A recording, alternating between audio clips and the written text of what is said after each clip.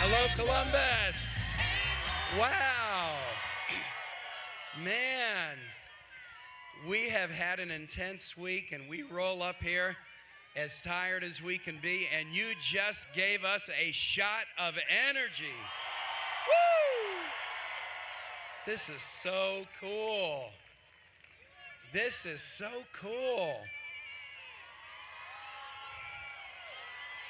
Hey, let me do um, let me let me do a couple of thank yous. I want to thank Roger Teeters, who just did the introduction.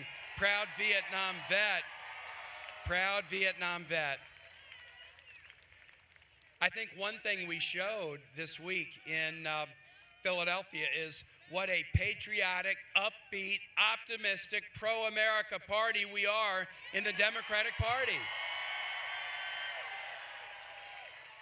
And you guys show us the great beauty of our country.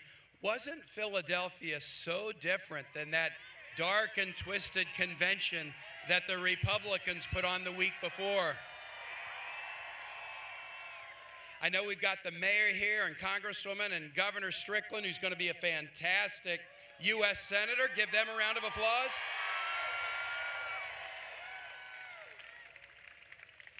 And I really mean that, what we said about Philadelphia. I know we felt that the hospitality there was great, that the spirit of our Democratic family was great. And it was such a contrast with that, you know, kind of the, the dark, twisted vision that Donald Trump says is America, but really it's just a tour through Donald Trump's head. And folks, that's a scary place to be. Scary place to be. But we've had a great three day bus tour. You know, they, um, we get on the ticket, we do the convention, we hop on this bus tour through Pennsylvania and Ohio, talking about job creation, talking about Hillary Clinton's plans and what we'll do in her administration. This is the last stop on the tour, and it's great to finish strong in Columbus.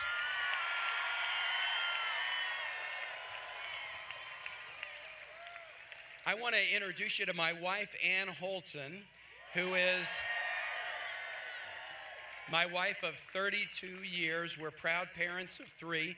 She was the Secretary of Education in Virginia until last Monday after I was asked by Secretary Clinton to be a running mate. Anne walked in and said, I want to campaign full time for this ticket. She stepped down from her position, and having her on the road with me makes me a very happy warrior. She's a great public servant. And then we've also had the great benefit um, up until the events this morning of having another travel buddy during the bus tour, President Bill Clinton. Now, that's pretty cool. That's pretty cool. I, I, said yesterday that I've been in politics for 22 years, Mr. Mayor. I was a city councilman and mayor before I was a governor and senator. Started at the local level. I thought I knew something about politics after 22 years, but spending about 15 minutes on a bus with Bill Clinton, you realize, man, now there's a guy who knows some things about politics. It was really exciting for Anne and I to be on this tour. And um, thank you, thank you. But but but I'll also say, I, I just I'm so proud to be on this ticket. I'm proud. I, I'm proud that Hillary Clinton, out of a number of spectacular people who could have been her running mate, asked Tim, will you do this with me? I'm so humbled about it.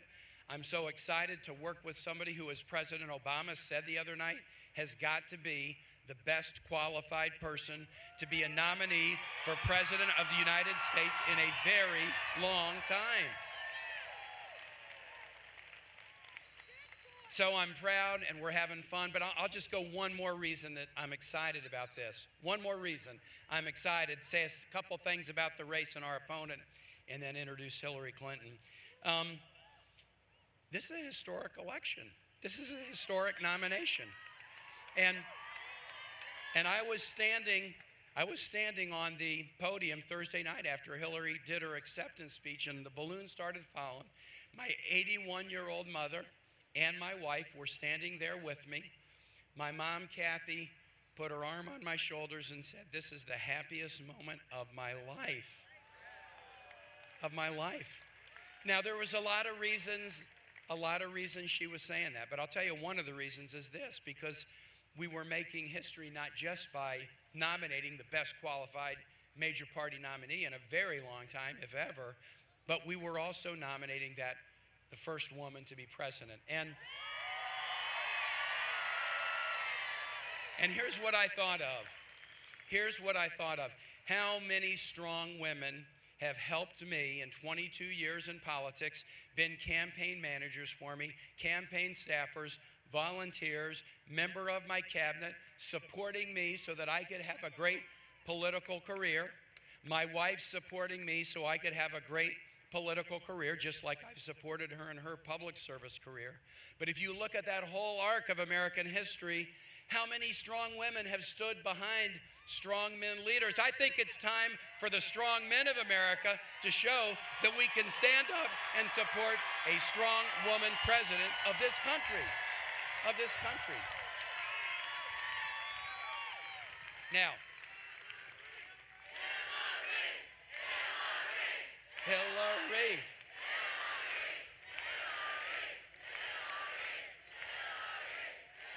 Now, can, can, I be honest and just tell you the one bad thing about this week? I mean, I got to be honest. Before I was on the ticket, Donald Trump didn't have any reason to call me a name. So, so when I got on the ticket, he had to figure out how to call me a name. So the morning after I became the nominee, he did a press conference and he took a mic and he said that Tim Kaine, he was a really lousy governor of New Jersey. Now, I, am a sensitive guy. I, I don't like criticism, and so I kind of felt bad until I realized wait a minute, I was never governor of New Jersey. I've never even lived in New Jersey. But look, guys, give Donald a break. He's new to this. He's new to this. You know, the basic civics, there's 50 states, and Virginia is different than New Jersey. I'm sure that's in the briefing book a few pages later. He's not there yet. Look, we're on this tour and we're having fun, but it's about something real serious, which is about the American economy and how to grow it because Hillary Clinton and Donald Trump have real different plans. I like making things simple, so I'm going to make it simple. Would you rather have a you're fired president or a you're hired president? I thought so. Um, I thought so. And I, and I predict this after Donald Trump loses this race and after everybody has forgotten virtually everything about his candidacy, the one thing people will remember about Donald Trump is two words you're fired. You're fired. Hillary has, is going to be a you're hired president, and she's going to talk a little bit about what we've been both talking about and learning about on the trail with factory stops and rallies. The American economy was in a free fall at the end of the Bush administration. President Obama has pulled it out and we're climbing again, but we got a long way to go. We got a long way to go because we need to grow jobs and make sure that the growth is not just for a few, but that the growth is shared by all.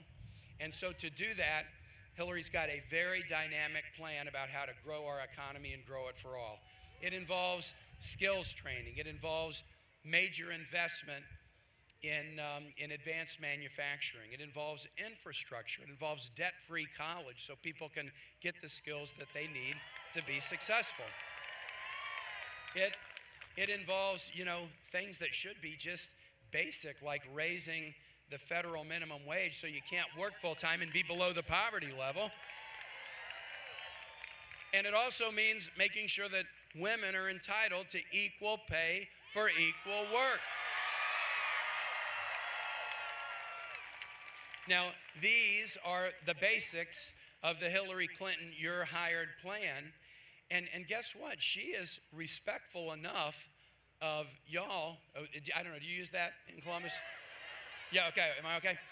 She is respectful enough of the voters to share the details. You go on hillaryclinton.com, one click of a mouse, you can see how she'll do it, how she'll pay for it, how she'll benefit, right? And uh, she said this the other night at the convention. I like this line. She said, um, I'm going to give you the details. Some people criticize the details. Oh, I don't want to know about the details. But here's what she said if it's about your kid, if it's about your family, if it's about your business, it ain't a detail, it's a big deal. It's a big deal. And she's going to share the plan. Go over to the other side of the aisle. Donald Trump, no plans, folks. No plans. I mean, he talked for 75 minutes at the convention, criticized Hillary Clinton, and made a lot of big, broad claims without any substance behind them. In, in fact, if you ask Donald a question, he'll say, I'm going to create jobs, or we're going to all be rich, or we're going to beat ISIS, or we're going to build a wall and make Mexico pay for it. And you ask him, Well, how are you going to do any of those things? And he just says, Believe me. Believe me. Huh, believe me. Believe me. But here's a problem a lot of people have believed Donald Trump and gotten stiffed, gotten hurt, gotten burnt. There's a lot of stories of contractors. Hillary Clinton and I both grew up in families where our dads ran small businesses. Her dad ran a drape and a fabric printing factory, and my dad ran a ironworker organized welding shop. And so we're used to, you know, we're used to businesses. A whole lot of small businesses have done deals with Donald Trump to help him build golf courses, build casinos, etc., only to get stiffed after the job was done. They did the work, they were entitled to the pay, but Donald and his phalanx of lawyers said, We're not paying you, sue us, we'll run you into the ground. Even if you win, you'll pay so much in lawyer's fees, it won't be worth anything. They got hurt, and many of them lost their businesses because they believed Donald Trump. Re- retirees in Florida Hundreds of them gave Trump money to build them condos, and they never got the condos, and they never got the money. They got burned and lost part of their savings because they believed Donald Trump. Students, I know, hey, look, Columbus is a big town for students, right? Big town for college. So, so young people like people, vets and others who wanted to advance, Donald Trump said, hey, give me a bunch of dough and be part of my Trump University, and then I'll just guarantee you'll have a path paved for success in your life. And they gave him a lot of money, and they ended up with a certificate that wasn't even worth the paper it was ri- written on. They got ripped off, all because they believed Donald Trump. And so now, so now he's just saying, "Oh, I'll do all these things. Believe me." But we are just too great a nation to believe a guy who's ripped off virtually everybody he's come in contact with. We cannot put a nation as great as the United States in the hands of a empty promising, self-promoting, one-man wrecking crew. We just can't do it, folks. We just can't do it. And so I um I want to ask you a question and I hope you'll ask everybody this question and that is this. When Donald Trump says, "Believe me," Does anybody here, I mean, even come close to believing this guy? I mean, do you believe even one word of what he says? That's my attitude. Not one word. Not one word, folks. Not one word. And that's what we've got to do on this trail convince others that they shouldn't be so gullible to fall for Trump's no details promises either. Okay, look. Now it is my great pleasure. We've had fun on these couple of days, and I hope you'll keep us in your thoughts and encouragement and prayer. It's 100 days to Election Day. And, um, and Anne and I, Anne and I get the virtue of just joining with like 105 days left. Now this has been like a 18 month or multi-year effort on Hillary Clinton's side, but it's going to be tough. It's going to be challenging, but nothing important in life is meant to be easy. And Democrats know tough, folks, and Ohioans know tough. So let me introduce you to a great leader, a tough leader, a compassionate leader, and the next president of the United States, my friend Hillary Clinton.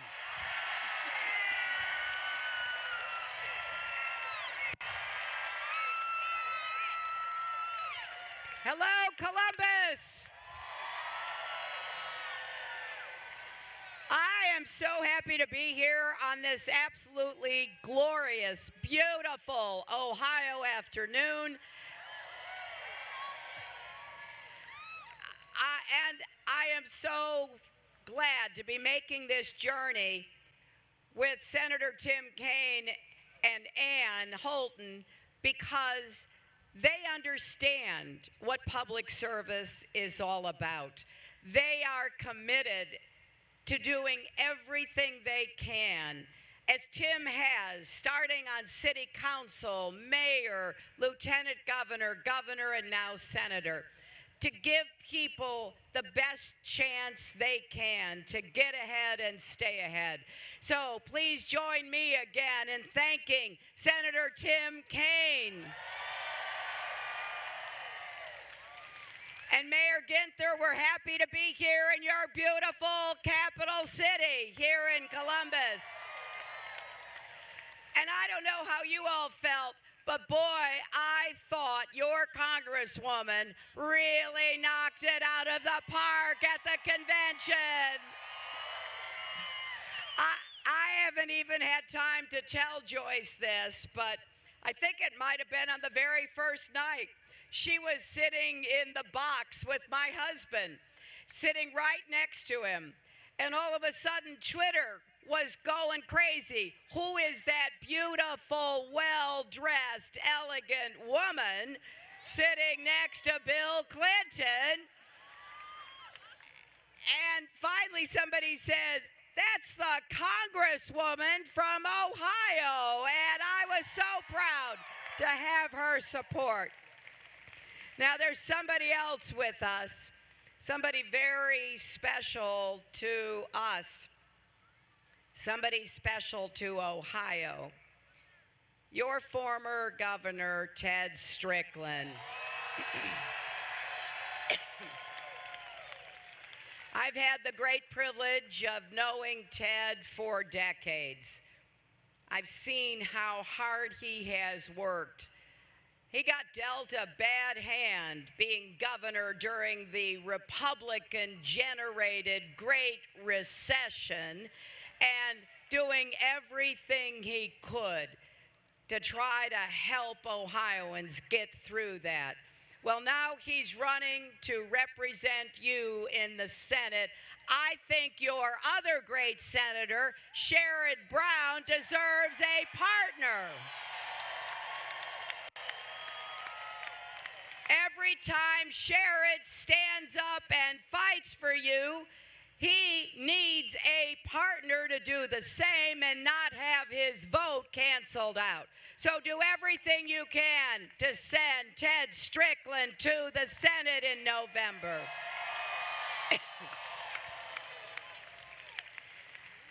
Tim's right. We've had a great time. How many of you watched the convention? Was so proud to see Democrats standing up and speaking about what we can do together to make sure the economy works for everyone, not just those at the top, taking on the special interests that have benefited from a system that is rigged in their favor. So when we finished those four days, I was thrilled to get on that bus in Philadelphia and head out across Pennsylvania and into Ohio. And along the way, we stopped at factories where hardworking Americans are still making things.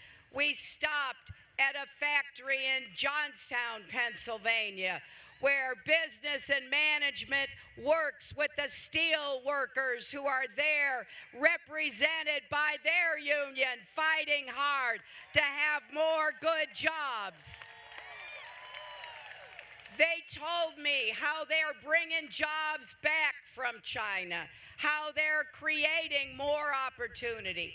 That's the American story that we're going to be telling during this campaign, during these last 100 days. I have specific plans about how we're going to get the economy working for everybody. We are going to make the biggest investment in new jobs since World War II and put millions of Americans to work. And here's how we're going to do it. We're going to invest in infrastructure, our roads, our bridges, our tunnels, our ports, our airports, our water systems. But not just what you can physically see. We need a new electric grid to be able to take and distribute all the clean, renewable energy we're going to be producing.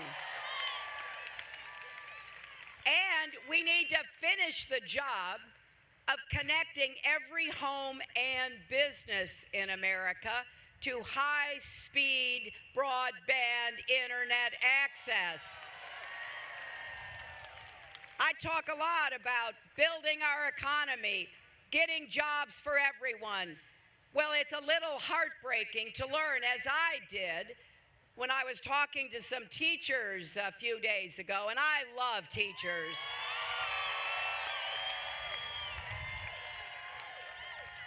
And the teachers told me they had just had a national survey done and learned that 70% of the teachers in America assign homework to their students that required kids to go on the internet.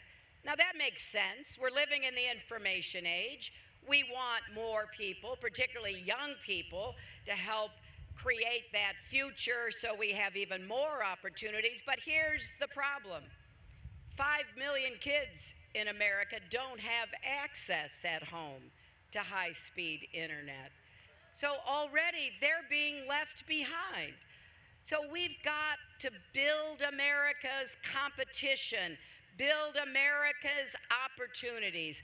And the plans that we've laid out will do just that.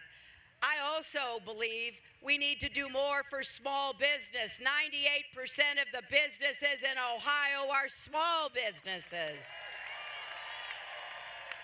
Let's have greater access to credit. Let's be sure we cut through and eliminate any of the red tape and the other obstacles. You heard Tim say his dad ran a small business, so did mine.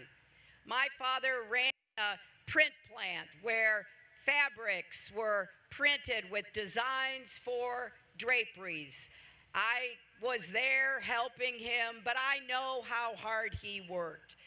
And I am personally sickened when I hear the stories about Donald Trump refusing to pay plumbers and painters and marble installers and glass installers and small businesses who have done the work. I think about my dad.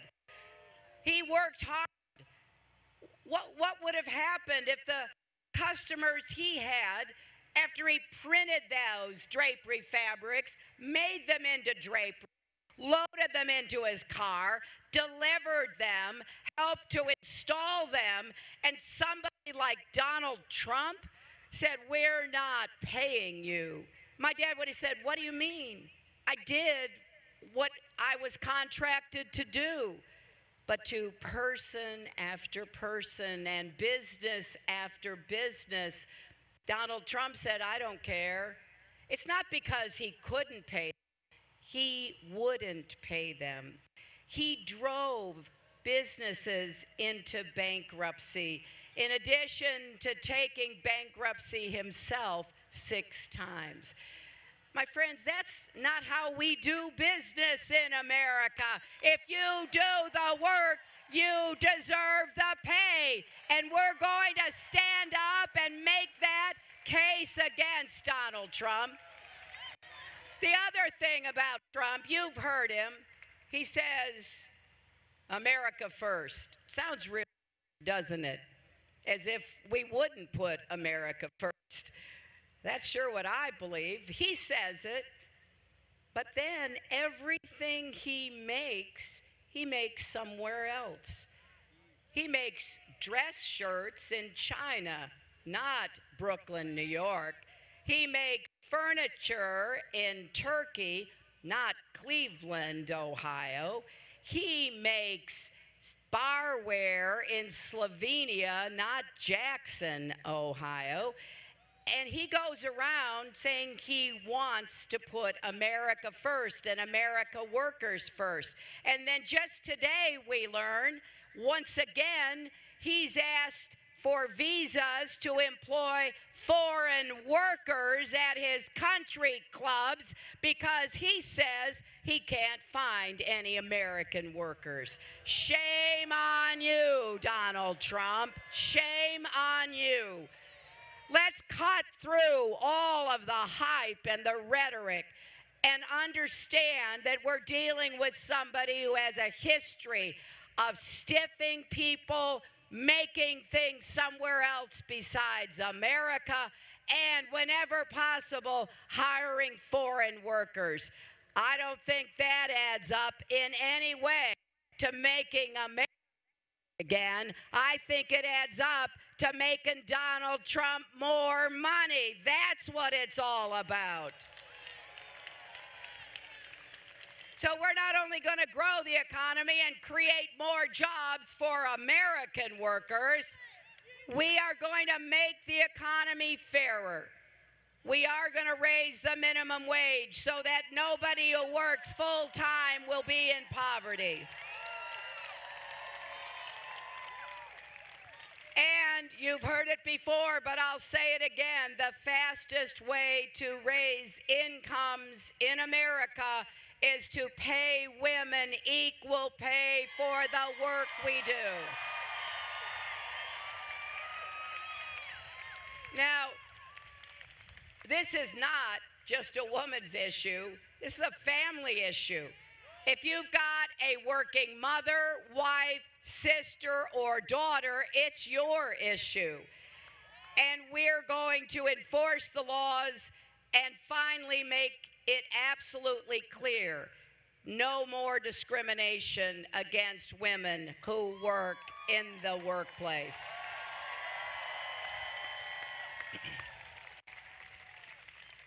So I know we're up against some powerful forces.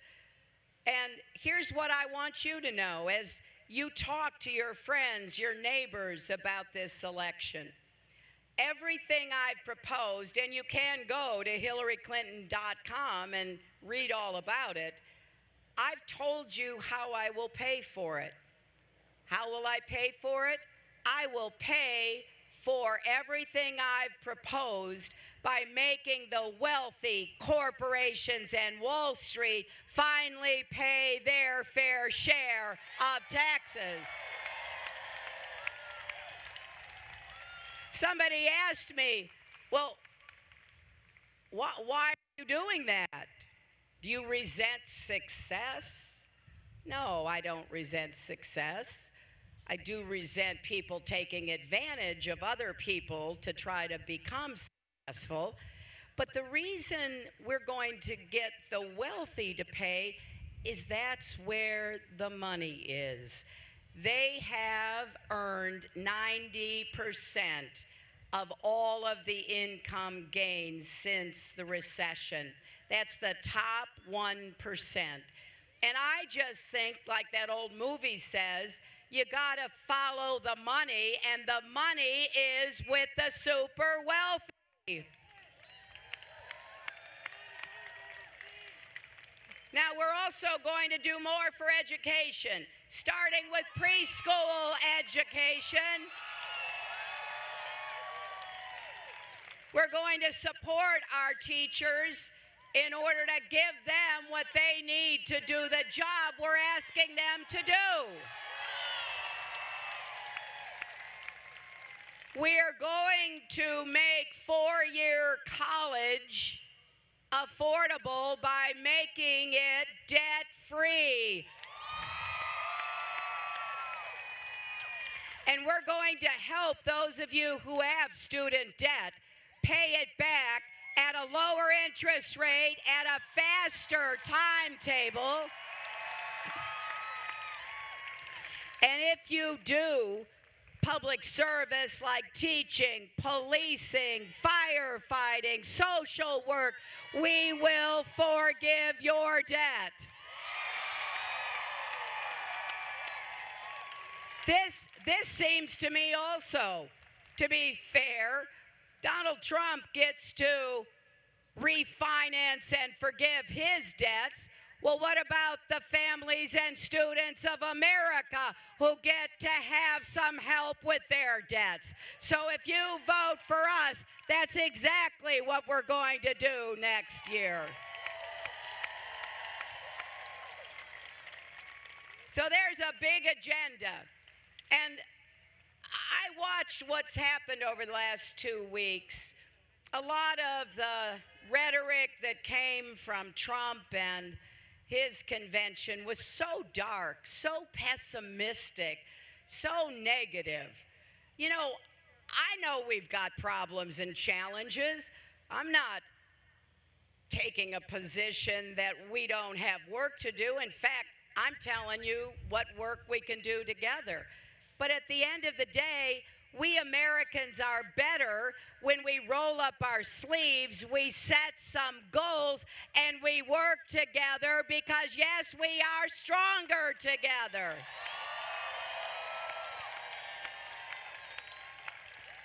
And I'm very excited about what we can do. You see, I view this campaign as a giant job interview. I'm here telling you what I want to achieve, asking for your vote, and asking you also to hold me accountable. I want you not just to vote for me in November, but help me be the best president I can be for all Americans. I want to be the president for every American. And that's why today, Tim and I and Anne are here because we are kicking off this campaign in Ohio. And yes, we have a lot of other issues that we're concerned about. I see some of the t shirts and the signs. We will defend Planned Parenthood from these outrageous attacks. We will defend and improve benefits under Social Security. We will take on the gun lobby for comprehensive gun safety reforms.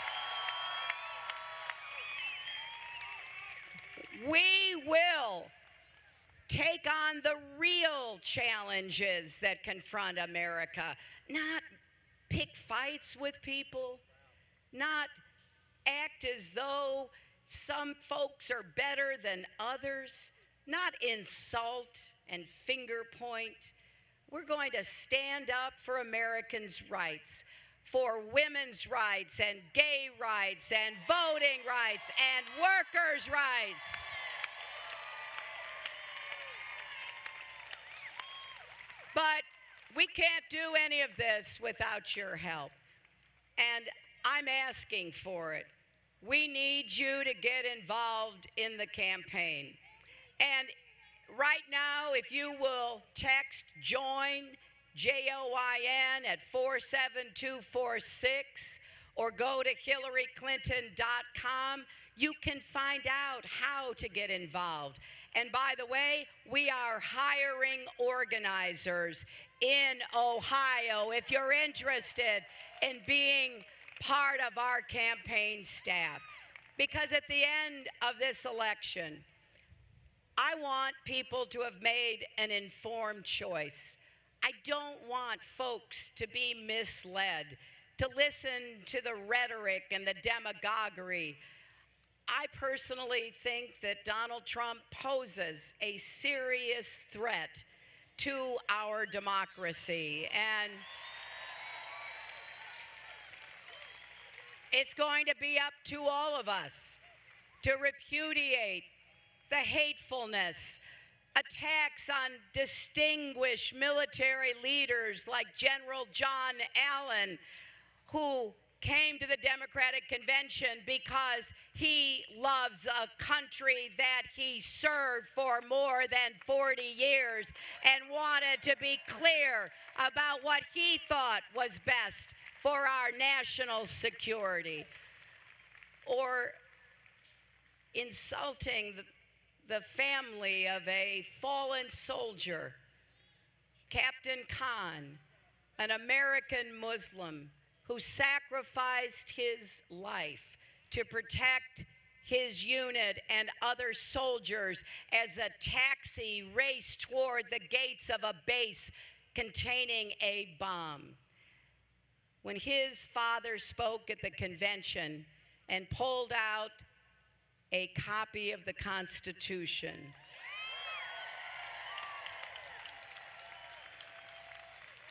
It was so fitting that happened in Philadelphia, where our country started 240 years ago.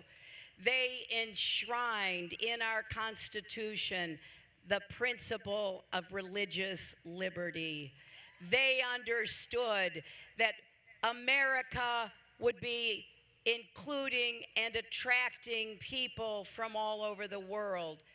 George Washington, Thomas Jefferson, they addressed different religions, including Islam, that were present in America way back at our beginning. And I want us always to stand for freedom and equality and justice and opportunity now and forever. Help us go out and win an election that will keep our democracy strong, our economy growing, and give every American a chance to live up to his or her God given potential. Thank you so much, Columbus.